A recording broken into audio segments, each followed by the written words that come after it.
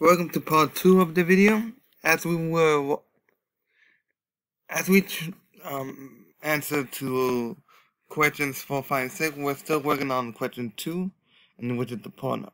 So basically, I had time to figure it out in Wireshark, which is okay, and I decided to stick with 80. Why? Because like in the other one, it's going to be the same number. So then it just how can I put it this way?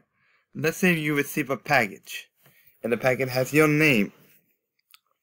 And then what happens to the package that you want to return? Well, it's gonna still be on your name and you want to return it. So basically like that.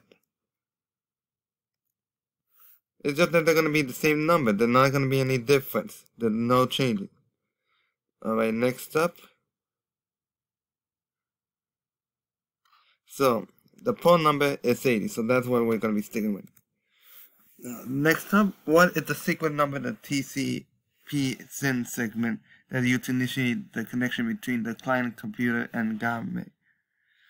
Alright.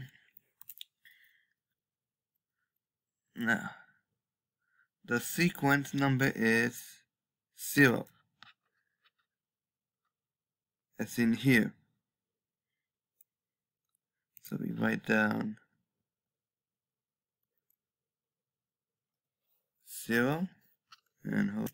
Okay, we know that the sequence number is 0 because it's been provided us seen here. So that means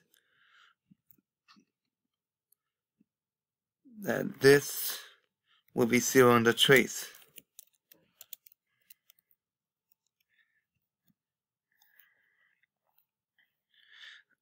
And what is in the segment that identifies the segment as a sensor?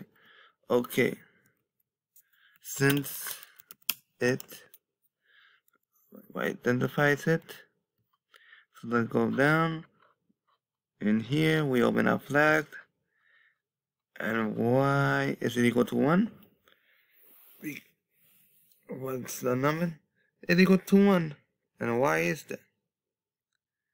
Hmm. Oh, up. So then we write, since it is, why? Because since it is equal to 1 or set up to 1.